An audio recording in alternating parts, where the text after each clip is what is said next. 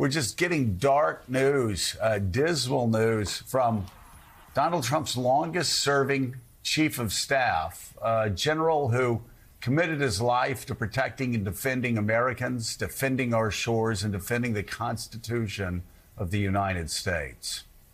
Yeah, a general who served the country, who lost a son to war, a general who served as chief of staff to Donald Trump for a couple of years during that first term, and who now is so deeply concerned that we're going to talk to Michael Schmidt, has gone on the record for several interviews talking about his concerns about Donald Trump's obsession with autocrats, with fascism.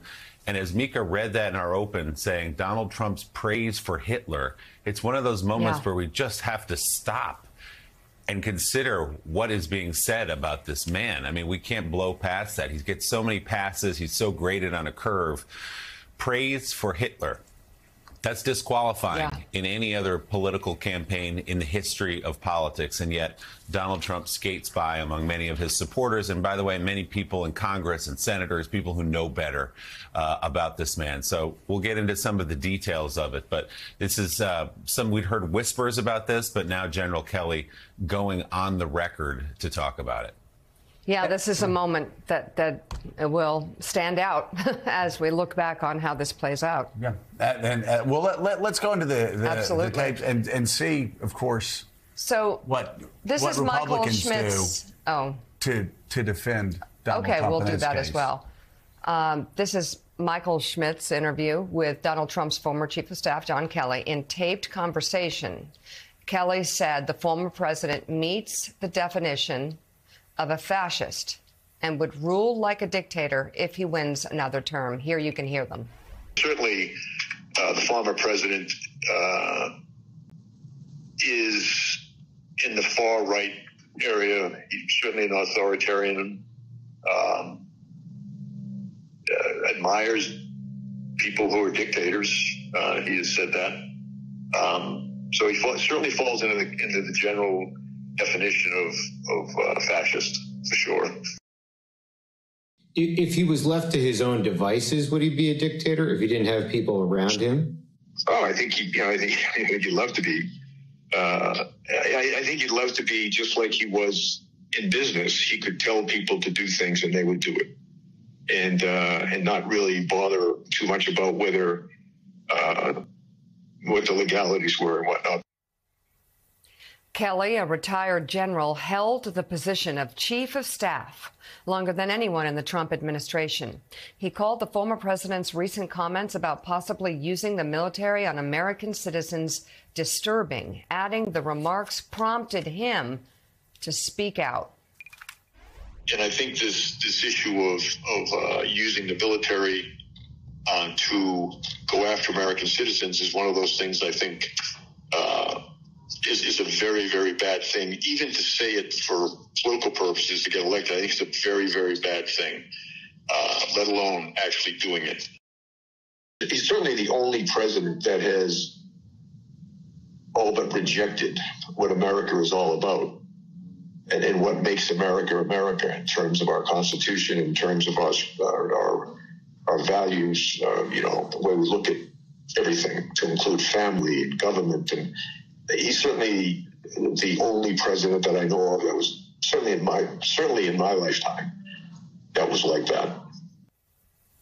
Kelly also said Trump, quote, never accepted the fact that he wasn't the most powerful man in the world. And by power, I mean an ability to do anything he wanted, anytime he wanted.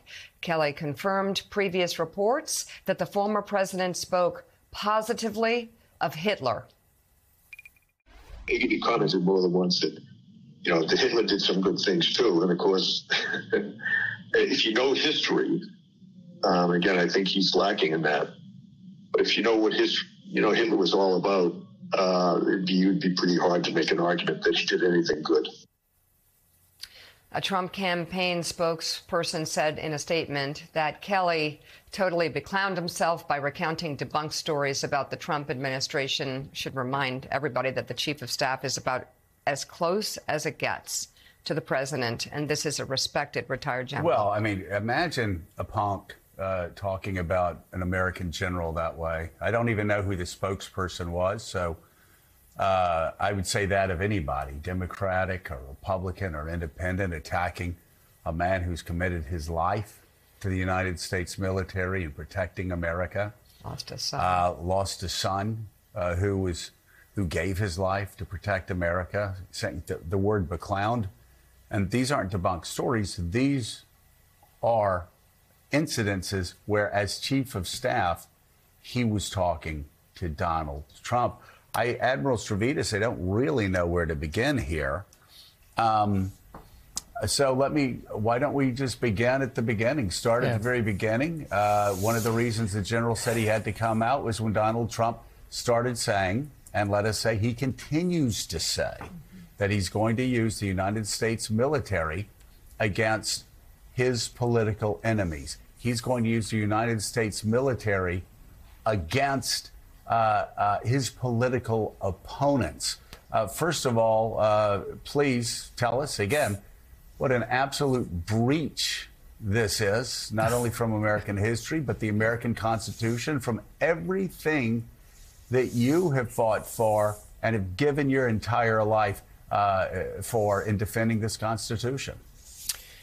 Thanks, Joe. Uh, let, let's really go back to the beginning. I met John Kelly when uh, we were in our 20s and serving together on an aircraft carrier forward deployed to the Middle East. I've known John Kelly since 1979. I watched his children grow up. Two of his sons became Marine officers. Never forget, he is a Gold Star father. His son died under my command in Afghanistan on the 9th of November uh, in 2010, uh, 2009. So I've known John Kelly forever.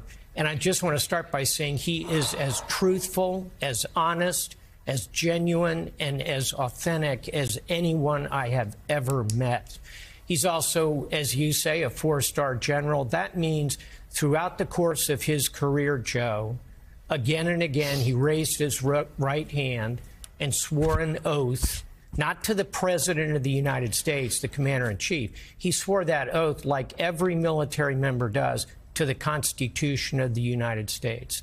I solemnly swear to support and defend the Constitution of the United States against all enemies, foreign and domestic. So let's bring it home. What is an enemy to the Constitution? I would say it's someone who wants to take control, take power, and use it to disassemble our democracy. That's the threat John Kelly was describing uh, so well and so authentically and so honestly in the superb article by Michael.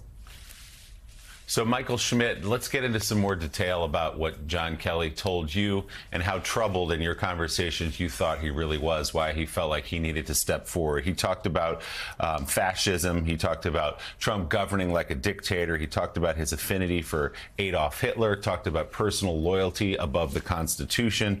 He talked about Donald Trump just not understanding fundamental American values. Um, what was uh, exceptional to you? What stood out? We've heard criticism from General Kelly of Donald Trump before, but what stood out to you this time? I think the most important thing about it was the fact that we could hear the audio.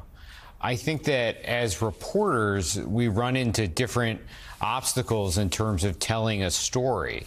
And when we think that there's an important story, we have to continue to look for new and different ways to tell it. And I think the most important thing here is that you can hear Kelly himself in his own words expressing it, and people can hear it for themselves. I think, to your point, a lot has been written about Kelly. A lot has been written about his relationship with Trump, about what he has seen. But I thought that the, the most important thing was to capture him actually saying that. And that was not um, you know, lo- logistically, that wasn't a hard thing to do, but to get Kelly to that point was, uh, you know, a very, very hard thing to do, and something that took, you know, in some time, in some ways, it took many years. Um, Yeah. this is not what John Kelly wants to be doing. John Kelly wants to be going to talk to young Marines, to talk to college students about the United States, about service. He wants to be going to see Gold Star families and VFW halls. You, are not, you know, John Kelly is not someone who's on television. He's not someone you'll see on the campaign trail. He's not someone that's really that easy to find.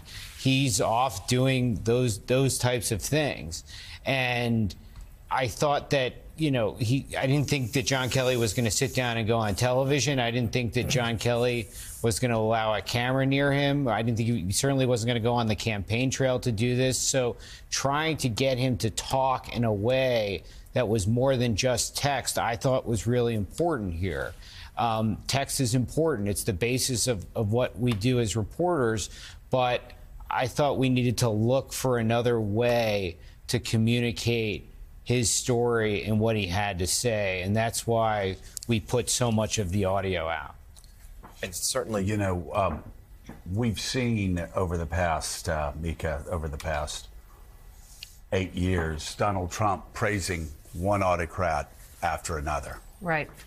Um, we've seen him praise President Xi. We've seen him praising President Putin. We've seen him praising Kim Jong Un, talking about love letters. Uh, and now we hear about this this uh, praise for Hitler from again Donald Trump's longest serving chief of staff, uh, and and talking about uh, Hitler's generals. We also, by the way, just show how wasn't political at all. Uh, 26 years before Donald Trump ran, Vanity Fair had an article in 1990 26 years. No, so this is politics aside, no politics. 1990, where Ivana Trump uh, talked to her lawyer about how Donald Trump would keep speeches of Hitler by his bedside and would read them. And so uh, that's bizarre enough. Uh, but you keep hearing, and we saw it, we're going to talk about it with Jeffrey Goldberg from The Atlantic at 7 o'clock. Uh, the obsession with Hitler and Hitler's generals. Um, and it, um, again, it's, it's just, it fits a pattern.